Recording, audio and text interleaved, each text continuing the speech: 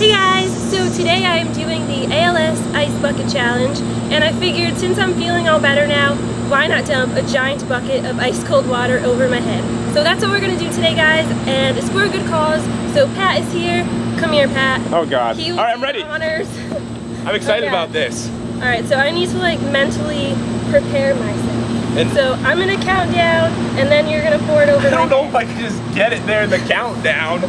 Alright, ready? Oh no. Okay. I'm not ready. Tell me when you're ready. This is freaking heavy.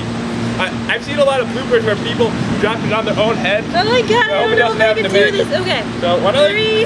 Hold on. Ready? I need to close my eyes. Okay. Okay, It's gonna end out on me. Two, one, go! Ah! Oh my god! I think I broke. I think I broke the bucket. Oh my god! Okay. I didn't get you that good. Really It- cool. I broke the bucket a little bit. Oh my god! All right. Well, I totally lost track of what I was missing. That was next, awesome. but, um, we both also left a donation, and be sure to go do that, guys. I'll leave a link to the website down below. And thank you so much for watching. I'll see you next time. Bye.